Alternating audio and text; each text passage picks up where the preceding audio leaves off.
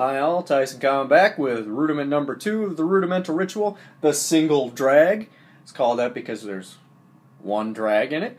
Uh, a couple things I want to get just out of the way real quick. What I'm going to do for you traditional grip people is I'm just going to alternate between the rudiments, either matched grip or traditional grip. That way you can kind of see how each is done and you don't feel left out if you're a all traditional grip player. I like to switch back and forth when I'm practicing uh, day, you know, every other day. And it's a nice way to kind of keep up on that. Uh, so if you're not used to playing matched grip or if you're not used to playing traditional grip, that might be a fun practice idea. Just one day play matched and the next day play traditional. Uh, and with that, let's get on to the rudiment. A quick thing to explain about this rudiment.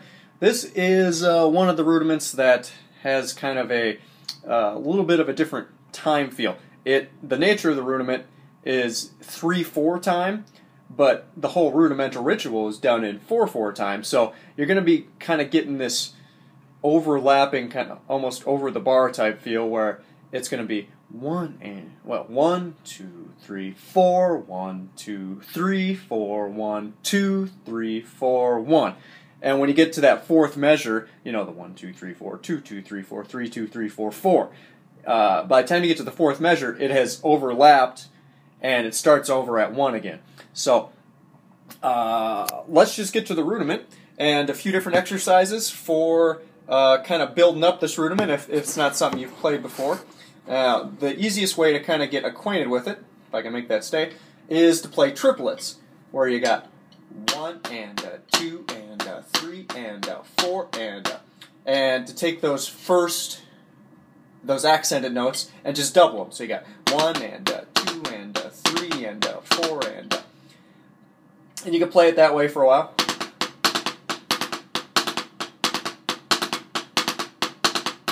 And then switch uh, the double note to the second note of the triplet. So one and a, two and a, three and a, four and a, one and a, two and a, three and a, four and a. And I think you know what's coming next. Once you've got that down on the second note, put it on the third or the uh. So you got one and a, two and a, four and a, one and a, two and a, three and a, four and a. And once you feel comfortable with those, now we kind of got to start learning to to hear how it sounds within four four time. And uh, the nature of the rudimental ritual, when you're playing a lot of these straight notes, it's kind of it goes in an eighth note type pattern. So you got one and two and three and four and one and two and three and four and. So instead of counting those triplets as triplets, try counting them straight within uh, the quarter notes and the eighth notes of the one and two and three and four. Now I'm going to put the accents on the first note. So and I'll count those out. So you got one and two.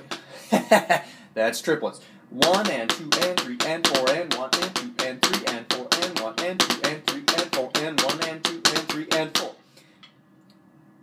So did you notice that that's four measures? Here, I'll, I'll do it again and I'll count out. So one and two and three and four and two and two and three and four and three and two and three and four and four and two and three and four. Now, the reason I stopped on four is because there's your four measures, but also this rudiment, when you're playing it in the ritual, stops on four. And so you can use those three exercises I showed you, and you can play with the accents on the first one, on the first, the, the main, you know, the, the quarter note, one and two, and one and two, ah, one and a, two and a, three and a, four, and then you can play it on the second note, then you can play it on the third note, and you can stop on four each time and switch between the two, like this. One and Try this again. One and two and three and four and one and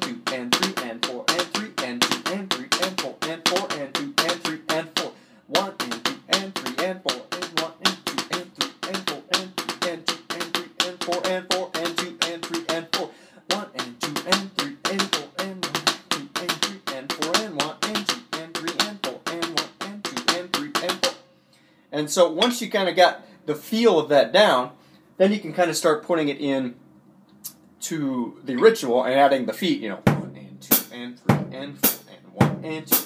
Now, the thing to uh, kind of keep in mind, and if you you know have picked up the book, I would uh, encourage you to listen to the CD or you know get online and find somebody who has played the rudimental ritual and recorded themselves doing it. You can kind of hear what it sounds like. Uh, oh, I was going to play traditional, so I'll do that now. Sorry about that. Uh, uh, you can get on and hear what it sounds like. It's not.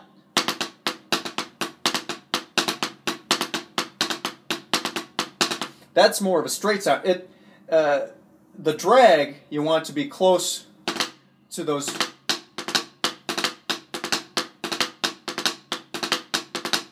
So it's a little bit closer. There's a little more of a lilt to it as opposed to a straight, a straight sound. You get a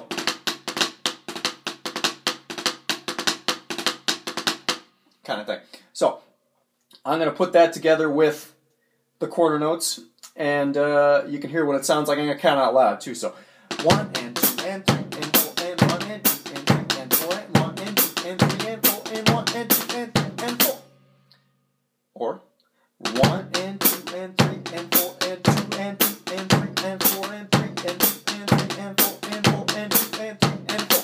So when you get to the fourth measure and the fourth beat of the fourth measure, it's and four.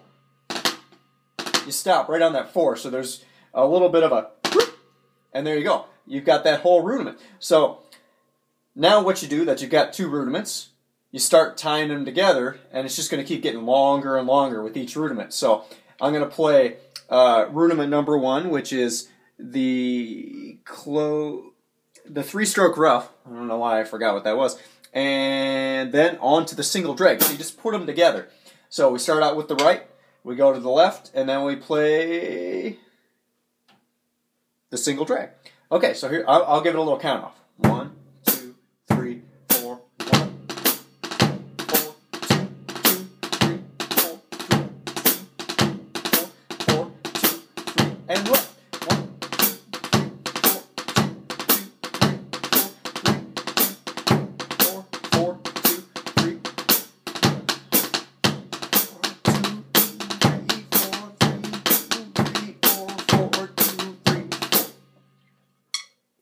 And there you have it. That's probably going to be the longest one because once you get acquainted with this 3 4 time over 4 4 time, uh, then you can kind of hear it with other rudiments because you're gonna you're gonna encounter it a lot in the ritual. So give those a practice and uh, give them a run through and see if you can play rudiment number one to rudiment number two, and uh, we'll pick up next time with rudiment number three. Okay, enjoy.